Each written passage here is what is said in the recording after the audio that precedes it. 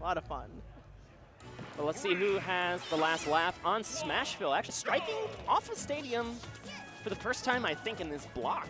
I think so, yeah. And um, for a very small stage, too, I feel like, I mean, this is not bad, but I want to say it's a slight paper for Nietono here, perhaps? Because anything he can do to kind of get the kill earlier than otherwise, it's just like, it's got to be good for Pichu in a sense. It's before Pichu itself is killed. Both these characters have very explosive kill power, and This so the, the closer blast zones on the sides and on the top of the stage can absolutely be a factor for both of them deciding stocks. Yep. But that means both of them are so confident in their kill confirms that they, they say, I, I want to take that advantage for myself. I'm not necessarily worried about the advantage it gives to my opponent. Definitely, but uh, just barely missed the up smash uh, linking out of the roller there. But uh, Pichu's definitely a kill percent if uh, he falls to another roller. Yeah, it looks like that Booyah combo already out of the range, only at 90% when that grab connected. So Yep. as you mentioned, the uh, the confirm may be off the table right now for Cosmos. And since he's not picking up those kills, now Nietono has to know he has a chance to kind of pick up some uh, some extra percent. And now that Cosmos needs to kind of refill his ink shortly, just like he was trying to do there, it's an opportunity to potentially get some uh, more percent onto Cosmos. Okay, breaking through with that down air. Very strong move. Like you said, adding a ton of percent, and, and Cosmos, or Nietono, I'm sorry, is able to reset the whole situation. Trying to get one of those fading back airs, which Yeah. that actually can be super violent even from center stage. But oh, the grab, back throw, as quick as possible, but not enough to KO.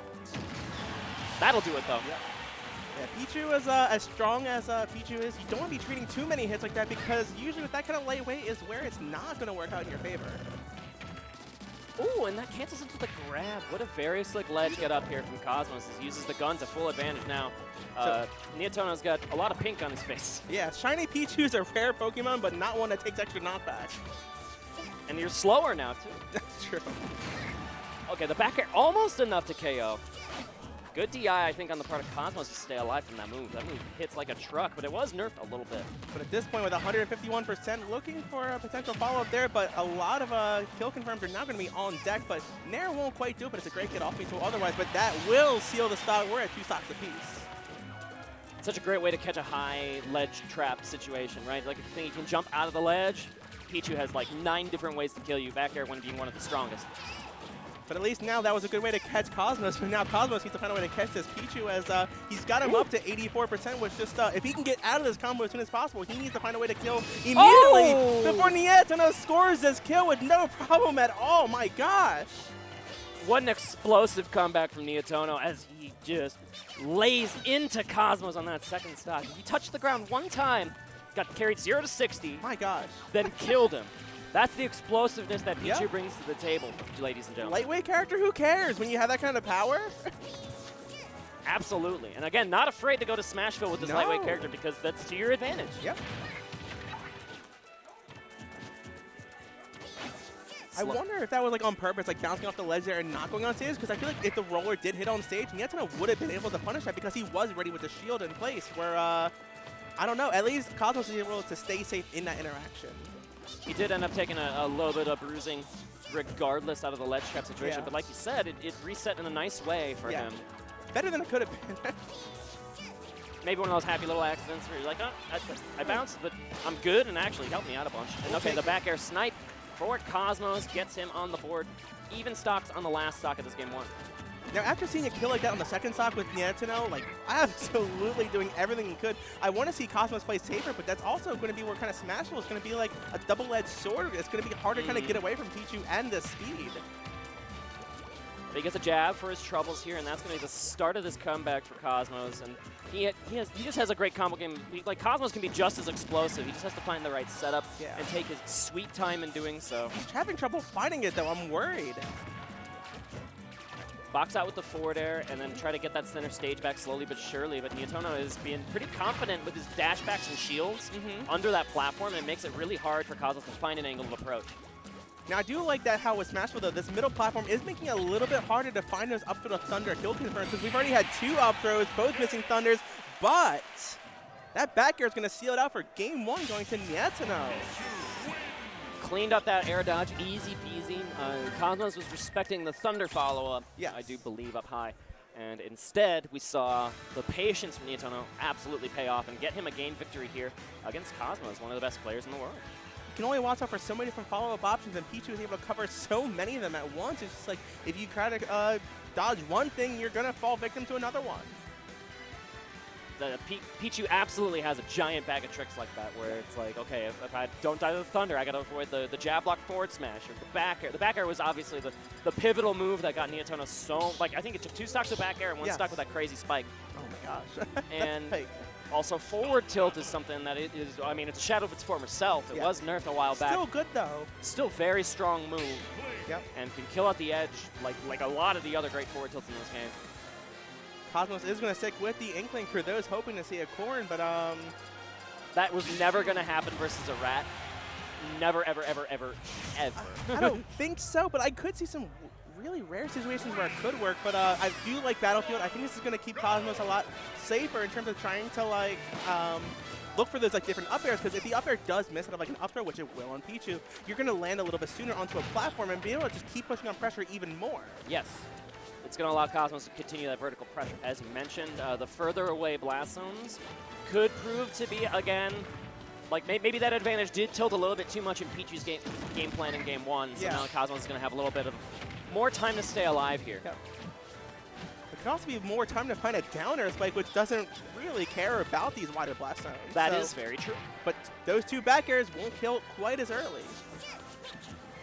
Oh, that grab's mixing by pixels. Yep. But and you're gonna pay a really big price for that. That was like 35, 40% off that just that one confirm. And oh, look at Nietono go. Getting a thunder jolt into strong hit of the neutral air. Oh, but a strong hit right back. Got him to the ledge, but a back air will not quite pick it up yet. But Sturm, I just want to point out real quick, I just noticed in that corner, this is the best out of three still. So we do have confirmation on that despite this round. But Niantonos then is looking pretty uh, pretty good to start to clean this up because if he finishes out this game, it takes these two more stocks, he's going to be moving on to winner's top 96. Yeah, a quick 2-0 and a handshake is possible here for Nietono, but Cosmos is gonna have to say something about that as he goes deep for the back air. Oh My gosh, I love it. Got an edge guard with the edge, the best, right? Yep. Pichu's an edge guarder, Inkling can do the same. Anything you can do, right? Both these back airs are phenomenal, I'll tell you that. Okay, looking to get a quick little corner combo for Cosmos, and that's going to even this up uh, only like not 0.9% in between these two characters. Yeah, but when you're like that close in percent, you gotta be thinking that's great for Cosmos. He wants the trades, he wants the even percent, because when it's even percent, it's gonna be going first stock over to uh, Inkling's favor there, I feel like. Yes, because he'll live longer and longer. Now he even has a lead for his troubles off of a quick little confirm using that platform, as you mentioned, on Battlefield, to his advantage. And oh, really close to a tech chase forward smash, which would have blown up Pikachu off the left side. And I love that idea because Niantono was forced into like that near the ledge issue, so it's like you're covering with that forward smash if you space it correctly three out of four different options. And now putting a little bit of paint on the ground to slow down that Pichu just slightly, and of course maybe even get a kill confirm off of it. That helps. Because I guess Roller does that too. And that F smash is threatening on the ledge. What else is threatening is right now Cosmos trying to recover and get around Niantono and narrow. Not going to do too much, but it's going to be enough to just, you know, keep Cosmos having to recover and playing Niantono's game rather than Cosmos' game. Luckily, you have so many extra recovery options as Inkling, like able Yep. to use that roller to just help out and just take your time to get up onto the stage. Sets up the turnaround roller, and that's one of the classic Inkling kill confirms. Taking a good advantage here, but there is, there it is. Yep. Nerf or not, It's it's, still coming there. for you. We're super close here with one stock each. Niantono looking for a way to close this out. I like how he took the first stock, but then Cosmos answered back. Super strong taking the second stock first. I love seeing that back and forth action. Nietono could have turned, like he could have done that combo into the stage to get Yes. even extra damage. He specifically turned it in the, to the right with a back air Yeah. to continue this ledge trap as much as possible. Oh, he missed the oh! stage!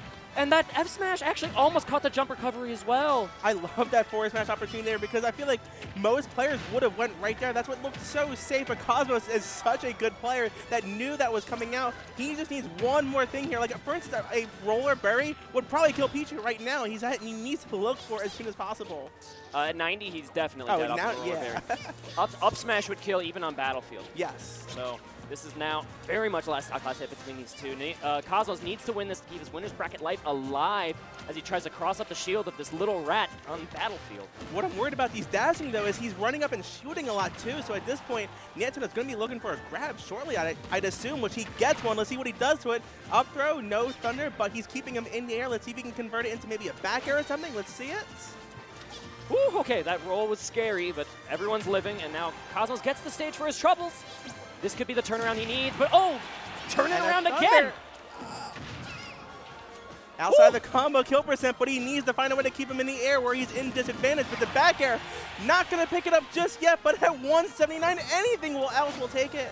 That was such an ambiguous back air, but nothing ambiguous about that F2. That's going to catch you on the regrab, and Nietono gets the first big upset of this block, Yes. taking Cosmos out 2-0.